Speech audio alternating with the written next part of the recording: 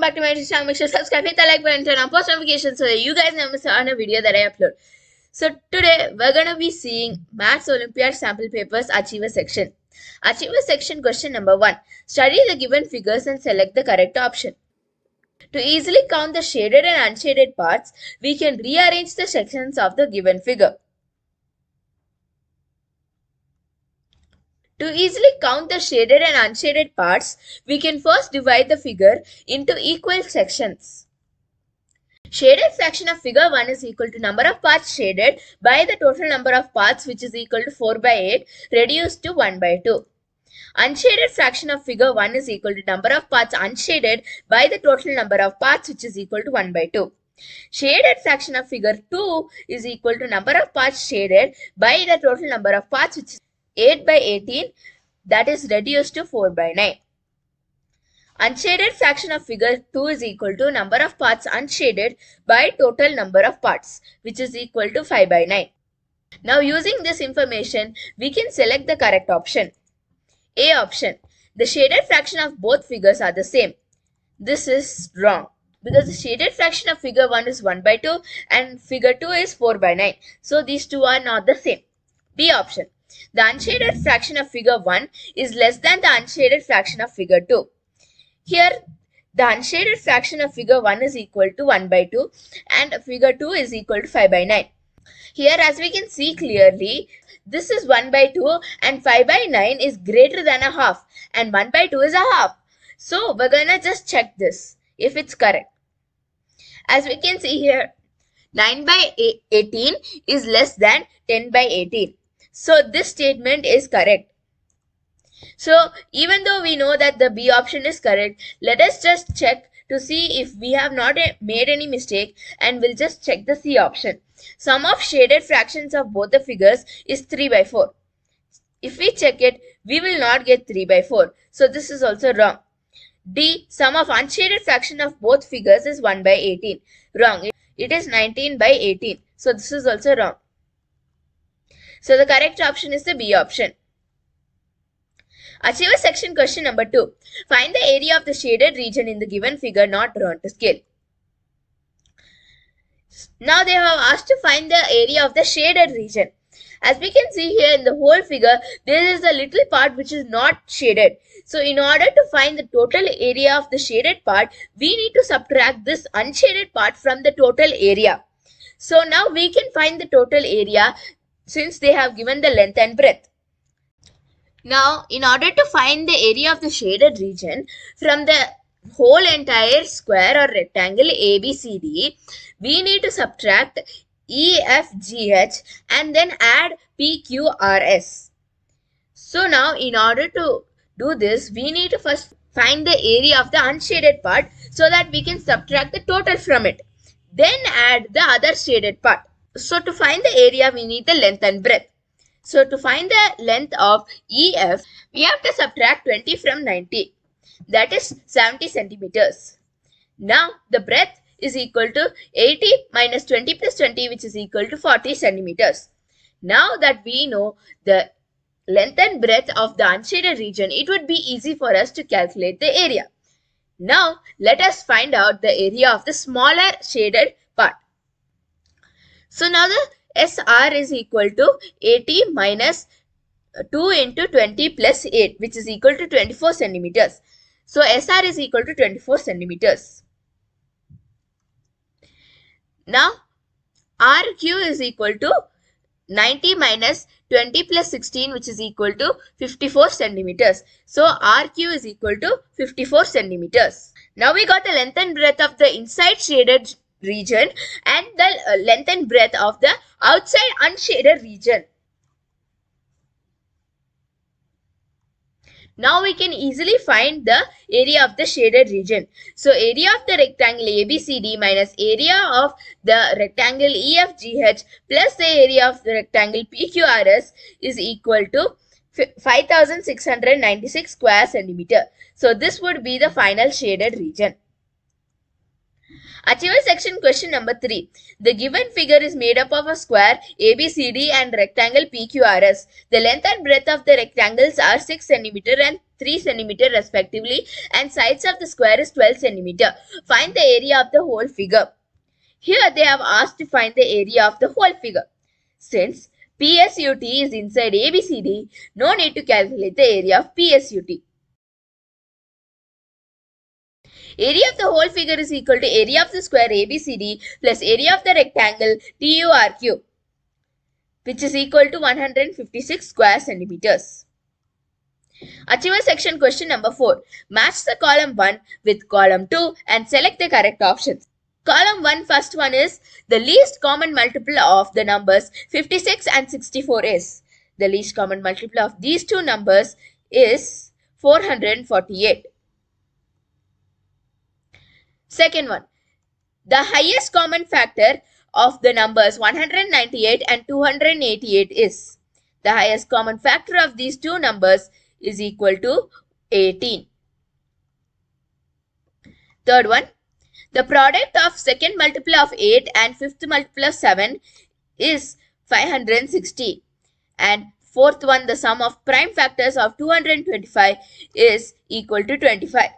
So matching this will get the answer as the D option. Achiever section question number 5. Fill in the blanks and select the correct options.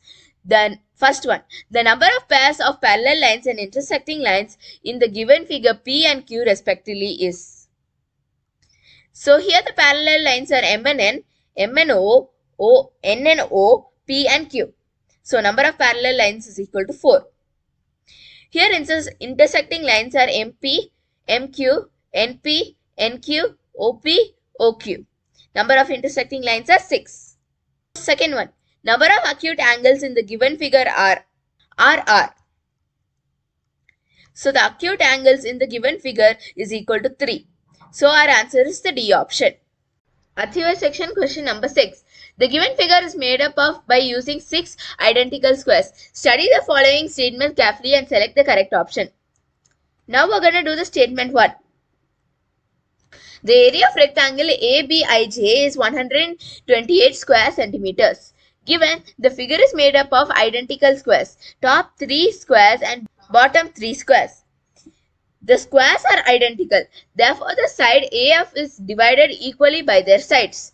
So, hence AB is equal to BE is equal to EF which is equal to 8 centimeter each. The length of ABIJ is equal to AJ that is equal to 16 centimeter and breadth of ABIJ is equal to AB that is 8 centimeters. Therefore, the area of the rectangle ABIJ is equal to length into breadth which is equal to 16 into 8 which is equal to 128 square centimeter. So, the first statement is correct. Second statement, the area of the unshaded figure is 384 square centimeters. In order to find the unshaded part of the given figure, we can find the area of the total figure and then subtract the shaded part. Area of the total figure is equal to AFGJ which is equal to 24 into 16 that is 384 square centimeters. Area of the shaded part is equal to 18 to 8 which is equal to 64 square centimeters. Area of the unshaded figure is equal to 384 minus 64 which is equal to 320 square centimeters. Hence statement 2 is false. Achiever section question number 7. The timetable of a child at home is given below. Study the given table carefully and fill in the blanks. First one. The child spends dash in playing outdoors. Times spends on playing outdoor is equal to 6.15 pm to 5.20 pm. So subtracting in order to find out the hours, we'll get the answer as 55 minutes. Second one, the child spends dash more time on studying than on watching TV. Time spent on watching TV is equal to 7 pm to 7.30 pm that is 30 minutes. Time spent on studying is equal to 3.5 pm to 5.20 pm. So subtracting to get to know the hours that is 2 hours 15 minutes. So subtracting it from 30 minutes we can find how much more time he spends on studying than on watching TV. He spends 1 hour 45 minutes more time on studying than watching TV. Third one, total time spent on eating and watching TV is total time spent on watching TV is equal to 30 minutes and time spent on eating is equal to 15 minutes. So total time spent on eating and watching TV is equal to 45 minutes. Achiever section question number 8. Study the given figures carefully. A1. Find the sum of the shaded fractions of both the figures. Shaded fraction of figure 1 is equal to number of shaded squares by the total number of squares in figure 1 that is equal to 8 by 15. Similarly, shaded fraction of figure 2 is equal to 2 by 3. Sum of shaded fraction of both the figures is equal to 8 by 15 plus 2 by 3 which is equal to 6 by 5. B. Find the difference between the shaded fraction of figure 1 and the unshaded fraction of figure 2. Shaded fraction of figure 1 is equal to 8 by 15 and unshaded fraction of figure 2 is equal to 1 by 3. Shaded fraction of figure 2 is equal to 2 by 3. Difference between the shaded fraction of figure 1 and unshaded fraction of figure 2 is equal to 1 by 5. So the answer is the B option. Achiever section question number 9. Read the given statements carefully and state T for true and F for false. First, we're going to take the right hand side portion and we're going to simplify it. So we're taking LCM to add this and subtract. As we can see here, if we simplify it, the answer that we get in the right hand side is 269 by 24. But in the statement, they have given it as 115 by 24. As we can see here, these two fractions are not equal to each other. So hence, the first statement is false. Second statement, the difference between 3 tenths, 15 tenths and 12 hundredths and 2 tenths, 11 tenths and 32 thousandths is 10.488. If we check this, yes, the di difference between these two uh, numbers is equal to 10.488. That is statement is true. Third one, they are arranged in descending order. But if we arrange this in descending order, we get this pattern. So this is false. Achiever section question number 10. The given figure is made up of a rectangle and three identical squares. Find the sum of areas of three squares. Given all the three squares are identical, so side of one square is equal to 5 centimeters. So sum of areas of three squares is equal to 75 square centimeters. Second one. Find the area of the unshaded part of the rectangle. Given length of the rectangle is 11 centimeter and breadth of the rectangle is 15 centimeters. Total area of the rectangle is equal to length into breadth which is equal to 165 square centimeters. Area of the square S2 is equal to 5 into 5 that is 25 square centimeters. Area of the unshaded part of the rectangle is equal to total area of the rectangle minus area of the shaded square which is equal to S2 which is equal to 140 square centimeters. Achiever section question number 11. The given figure not drawn to scale is made up of a square, a triangle and a rectangle. The breadth of the rectangle is 1 by 4 the length of the edge of the square. If the sum of the area of the square and the rectangle is 732 square centimeter, then find the perimeter of the given figure.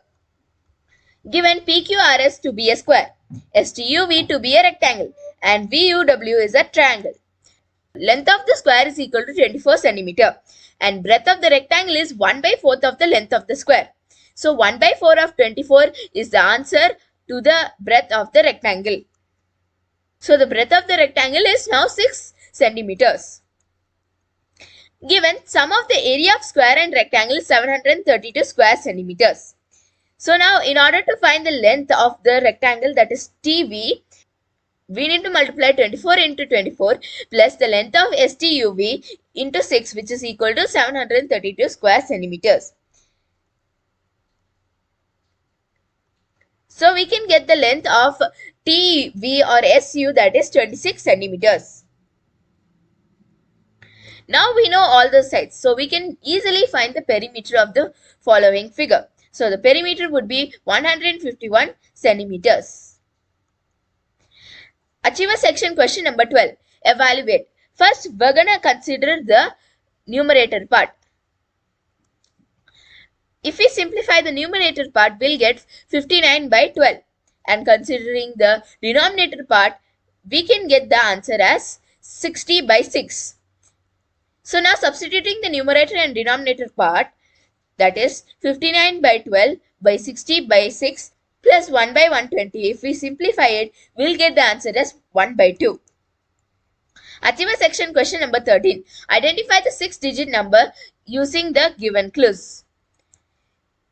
First one. Its ones digit is smallest prime number. The smallest prime number is 2. Second one, its hundreds digit is the HCF of 5 and 25. The HCF of 5 and 25 is 5. So, the hundredth digit will be 5. Third one, its tenth digit is 2 more than its hundredth digit. So, the 2 more than the hundredth digit will be 7. Fourth one, its thousands place is twice of its lakhs digit. So now we're not going to consider anything at this point because we have no value for the lakhs digit. So if we look down to the sixth one, we can see that the lakhs digit is the smallest factor of 15. So the smallest factor of 15 is 1. Now we'll go back to the fourth one and we can find the answer that is the thousand digits will be now 2. Fifth one, its 10th 10,000 digit is the largest one digit number. The largest one digit number is 9. So the number formed here is the C option. Achiever section question number 14. Alicia bought 9 tins of mustard oil each containing 5 liters of oil. She poured all the oil into a barrel of capacity 195 liters. A question How much oil in liters did she pour into the barrel? Capacity of 1 tin is equal to 15 liters. Number of tins Alicia bought is equal to 9. Oil she poured into the barrel is equal to 9 into 15 which is equal to 135 liters. Second question. How many more tins of mustard oil must Alicia buy to fill up the barrel completely with oil? Total capacity of the barrel is equal to 195 liters. Alicia poured 135 liters. The barrel can hold 100, 195 minus 135 which is equal to 60 liters of oil. So capacity of 110 is equal to 15 liters. Therefore, Alicia should buy 60 divided by 15 which is equal to 4 more tins to fill the barrel. Achiever section question number 15. A basket with 60 apples weighs 21 kgs 800 grams. The same basket with 8 apples weighs 3 kg 600 grams. If each apple in the basket has the same weight then A. What is the weight of the empty basket? B. What is the weight of the basket with 18 apples? Now first we have to find the value of the empty basket. So let the weight of basket be B. Now we're going to write all the information that we've got here into in an equation form so that it will be systematic. So given weight of 60 apples is plus B is equal to 21,800 grams equation 1. Weight of 8 apples plus B is equal to 3600 grams that is equation 2. Equation 1 can be written as weight of 52 apples plus weight of 8 apples plus B is equal to 21,800 grams. That is equation 3. Here 52 plus 8 is equal to 60 apples. That is given in the equation 1. So we can write it as 52 plus 8 apples. Instead of the weight of 8 apples plus b, in equation 2 there is 3600. So substituting that, we can find the value of weight of 52 apples. That is 18,200 grams. Using this, we can find the value of one apple that is 350 grams. Using this value of one apple, we can find the value of basket that is 800 grams. Now using this, we can answer the second question that is, what is the weight of the basket with 18 apples? So weight of empty basket is equal to 800 grams and weight of 18 apples with the basket is equal to 800 grams plus 350 into 18 that is 1 apple into 18 apples that is equal to 7100 grams. That's it for this video. Make sure to subscribe, hit the like button, and turn on post notifications so that you guys never miss out on the video that I upload. And I'll see y'all next time. Goodbye.